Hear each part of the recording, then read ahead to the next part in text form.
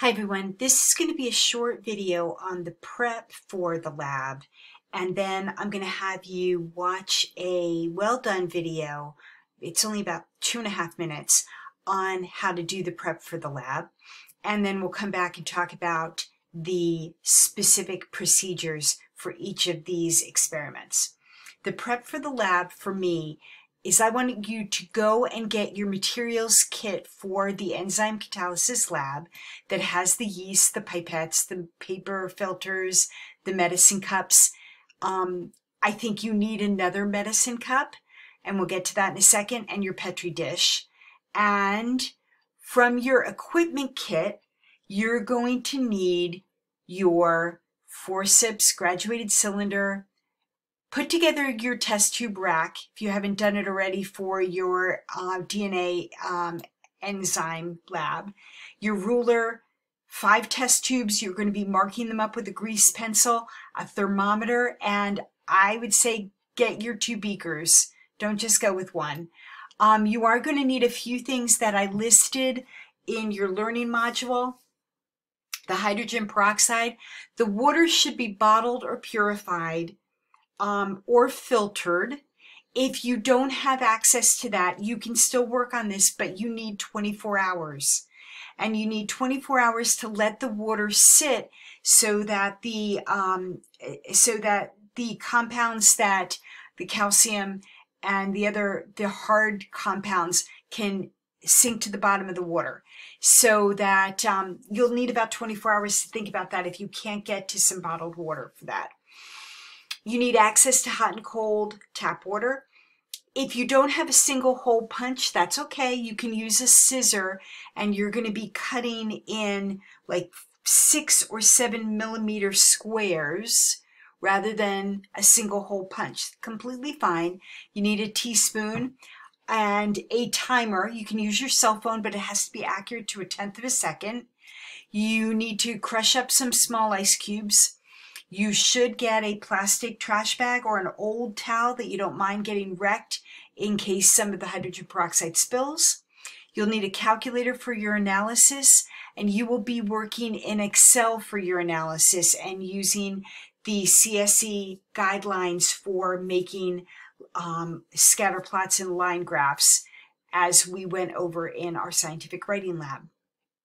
So you're going to be using um, these materials and um, I want to emphasize that you should be wearing your goggles and using your gloves and protecting your your um, your clothes by wearing your PPE during the lab.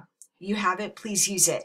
Um, again, hydrogen peroxide is a strong oxidizer. You do not want any pets or any younger children in the house to get a hold of this.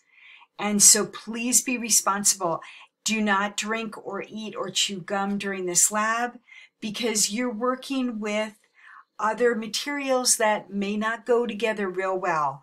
Um, so, um, you know, be a, be a lab scientist. And um, make sure, please, that you read through this procedure. Do not rely on my videos alone. I spent a lot of time going through this procedure, and I hope that you will too. For your prep, you are going to either take your um, single hole punch or you will take your um, scissor and cut up small pieces of your filter paper. They can be six or seven inch squares or they can be the single hole punch. Put them into your Petri dish to keep them nice. Um, get your, get your um, work area ready and get hot water running so that you can achieve a temperature of about 35 degrees Celsius for about 250 mLs in your beaker. All right. Then when you open your yeast, don't pour all the yeast in. You only need a level teaspoon of the yeast in the 250 um, cc's of the warm water. That is going to be your beaker of 100% catalase solution all right? That is going to be, that level teaspoon in the warm water is going to be your 100% catalase solution and you are going to take one of your medicine cups and write on it with your grease pencil 100% catalase solution and that's it. Then you take from that 250 mLs in your beaker, you pour in 20 mLs into the medicine cup that's marked, all right? Um, get your two pipettes, mark one of them water, mark one of them catalase. Here's my recommendation. Get another medicine cup just for the water. I know you have two medicine cups. You're going to be using one for catalase. You're going to be using another for hydrogen peroxide. I think you should have a third for bottled water. That's my thing.